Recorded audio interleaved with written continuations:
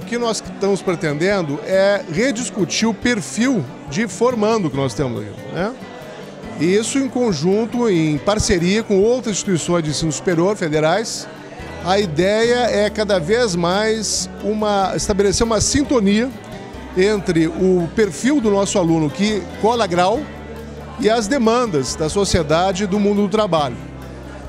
A ideia é fazer com que o nosso projeto pedagógico da instituição tenha influência né, nos cursos de graduação, na modo como são pensados em termos de currículo e em termos de prática pedagógica em sala de aula. Além da infraestrutura, nós temos diversos programas que buscam consolidação de grupos de pesquisa, apoio ao recém-doutor, apoio à instalação dos novos doutores. Esse ano, por exemplo, nós temos dado uma atenção especial ao fortalecimento dos grupos, porque esse fortalecimento de grupos, a, a ciência ela é muito multidisciplinar. Então é necessário parcerias internas, externas e envolvimento de alunos.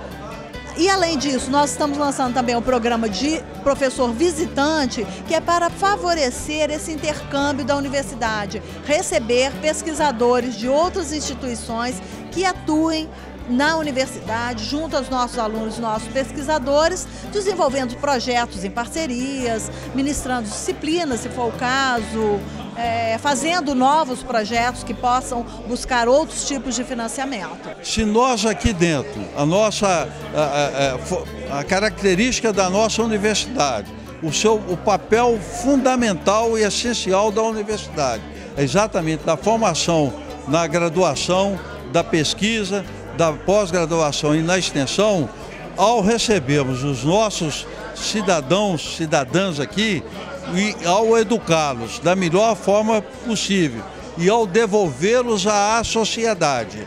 Com isso aí, teremos pessoas altamente qualificadas que estão no meio da sociedade, inseridos nela e desenvolvendo dentro dela o melhor papel na atividade de cada um desses eh, recém-formados eh, pela nossa universidade.